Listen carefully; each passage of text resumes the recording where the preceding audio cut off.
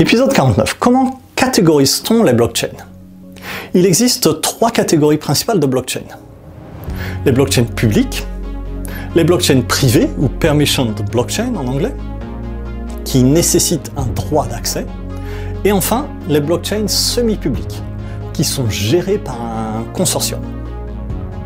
À mesure que la technologie évolue, d'autres catégories de blockchain émergent aussi.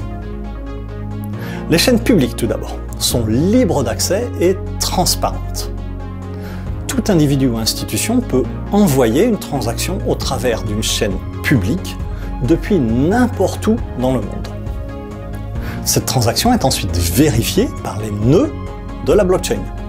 N'importe qui peut participer à l'exercice compétitif de minage pour gagner les droits d'inscription. La blockchain Bitcoin est justement un exemple de cette chaîne publique. Les blockchains de consortium sont semi-publics et généralement utilisés au sein d'une organisation ou entre les membres d'un consortium. Plusieurs nœuds sont préaffectés avec des fonctions de tenue de compte. La genèse de chaque bloc est décidée conjointement par tous ces nœuds comptables présélectionnés. Alors que d'autres nœuds échangent et participent à la blockchain, ces autres nœuds ne possèdent pas de droit de tenue compte. Et enfin, les blockchains privées sont complètement fermées au public.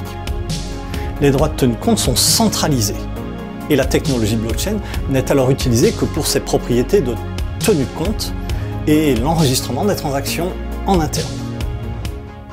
Les blockchains privées sont utilisées exclusivement par un groupe prédéfini d'institutions ou d'individus.